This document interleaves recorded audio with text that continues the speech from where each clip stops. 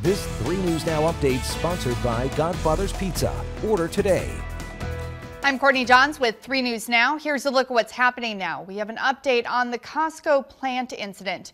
We now know the names of the victims. The Fremont Police Department has identified 56-year-old Melvin Balaban of Crete and 26-year-old Caleb Sabaka. Balaban died after falling 40 feet off a scissors lift, and Sabaka also suffered injuries in the fall. Crews were called to the plant around 9:30 a.m. yesterday, and Balaban was pronounced dead at the scene. And the Mueller report has some interesting information about an Omaha case. According to the report, recently apprehended WikiLeaks author Julian Assange may have capitalized on the murder of Omaha native and DNC staffer Seth Rich to hide how he received sensitive information. Rich was shot and killed back in July of 2016 in what was deemed an attempted robbery. We have more on Mueller's report on our website at 3newsnow.com.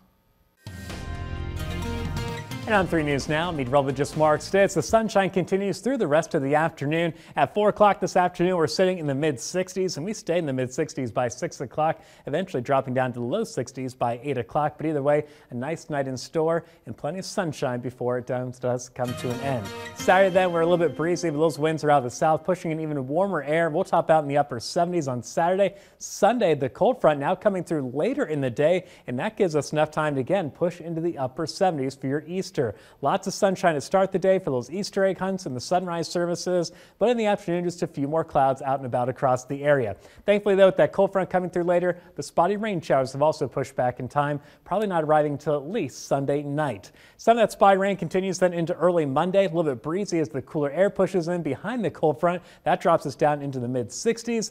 That's where we'll stay for Tuesday and then a little bit warmer by the middle part of our next work week.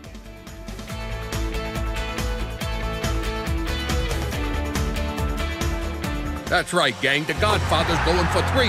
The three piece big cookie combo, that is. Get a medium specialty pie, a medium one topping pie, and the MVP, a frosted basketball cookie. Godfather's Pizza. Do it.